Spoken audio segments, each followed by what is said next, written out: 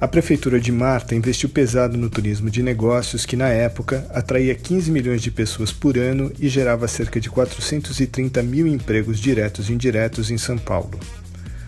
O incentivo da prefeitura estimulou empresários a expandir os seus negócios, de olho no fluxo de turistas atraídos, por exemplo, pela conhecida qualidade e oferta gastronômica da cidade.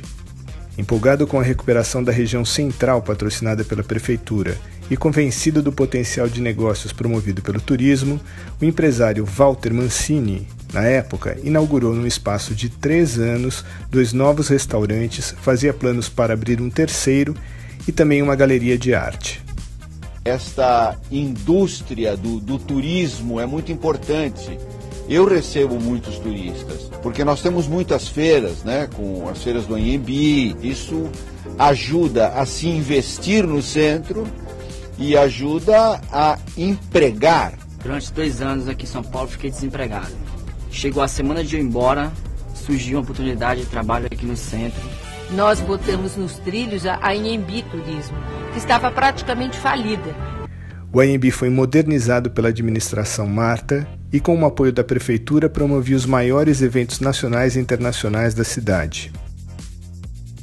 Eu veio de Atenas. Eu vim de Brasília.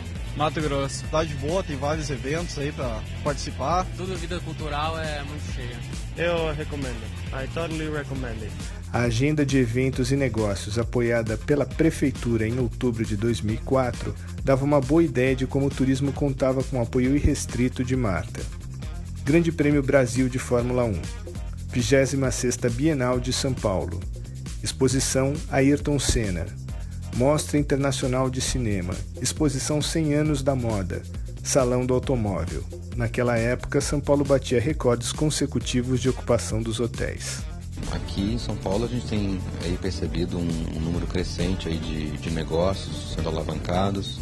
Sem sombra de dúvida, nos últimos anos nós temos tido um fluxo de pessoas, tanto no turismo nacional como internacional de negócios, bastante, um crescimento bastante significativo. O hotel está 100% ocupado.